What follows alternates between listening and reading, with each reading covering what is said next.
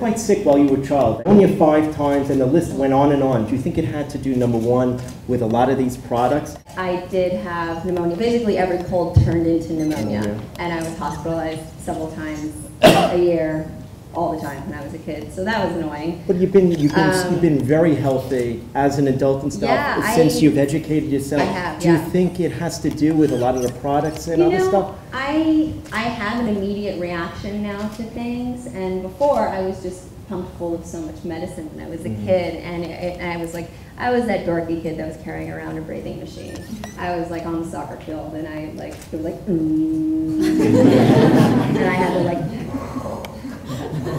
Like all the kids are like being cute and like doing their little thing, and I'm like sitting there on the breathing machine, like playing with cats. My mom always had to sit next to me, and it was so embarrassing. So, um, so yes, I was sick as a kid, and when I did make choices that were different, um, it, I do think it made an effect. It, it had an effect on my health because I am breathing easier and freer.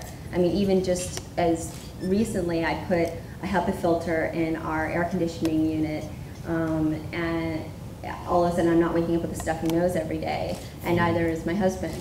And so that, like, that was cool, you know. And so there is something about, um, yeah, making these little tiny uh, changes and, and really it, it affecting your health in in a better way.